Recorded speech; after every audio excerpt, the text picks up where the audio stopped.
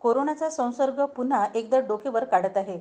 यवतमाळ जिल्ह्यात देखील मागील काही दिवसात अधूनमधून कोरोना पॉझिटिव्ह रुग्ण आढळून आले. असे असताना रविवारी प्राप्त झालेल्या कोरोना अहवालात यवतमाळमधील एक तरुणी बंगळुरूमध्ये पॉझिटिव्ह आढळून आल्याचे समोर आले आहे. जिल्हा परिषदेच्या आरोग्य विभागाला प्राप्त झालेल्या कोरोना अहवालानुसार रविवारी चारशे तीन जणांची तपासणी करण्यात आली. त्यापैकी चारशे दोन जणांचा अहवाल निगेटिव्ह आला. मात्र एका रुग्णाचा अहवाल पॉझिटिव्ह आला. ज्या रुग्णाचा अहवाल पॉझिटिव्ह आला ती यवतमाळ जिल्ह्यातील चोवीस वर्ष तरुणी आहे. सदर मुलगी बंगरूळ येथे शिक्षणासाठी गेली आहे. तेथे मुलीची R T P C R चाचणी करण्यात आली ज्यामध्ये ती पॉझिटिव्ह आली. त्यामुळे सदर मुलीला सात दिवस क्वारंटाईनमध्ये ठेवण्यात आले आहे. त्याचबरोबर जिल्ह्यातून एकही रुग्ण पॉझिटिव्ह आढळला नाही.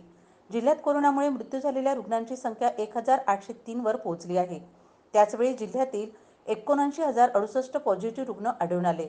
तर अठ्ठ्याहत्तर हजार नऊशे शहाण्णव निगेटिव्ह रुग्ण समोर आले.